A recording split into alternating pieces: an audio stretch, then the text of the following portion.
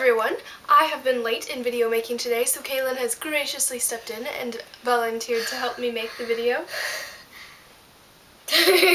I realized that she's been in several of these videos, but I've never really introduced her. This is my little sister Kaylin. She's 10 years old.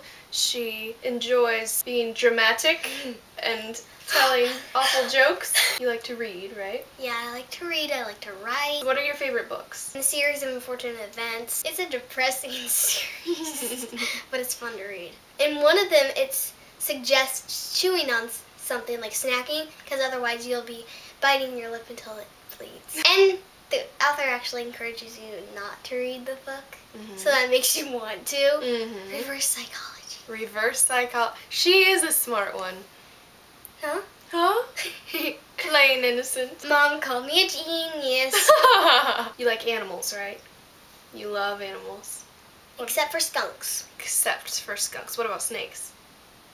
If they're not poisonous, yes. What do you think about spiders? Not making her do this stuff, she just does it naturally. But what happens when you see a spider? Don't do it. But what happens? Scream. You scream. But sometimes I grab a shoe and kill it. No, you don't. Sometimes once. Once. once. and once when it was in the bathtub, I just turned the water on and drowned it. Oh.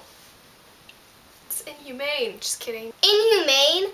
I eat gummy bears the head first. They die more quickly. Quickly. What's your favorite game?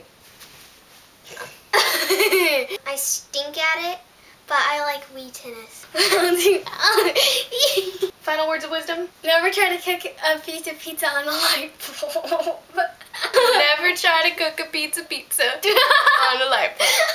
Oh. Hey, what do you do when your nose goes on strike? Pick it. Yep. Goodbye. Don't tell my personal stuff. Okay. My personal relationships.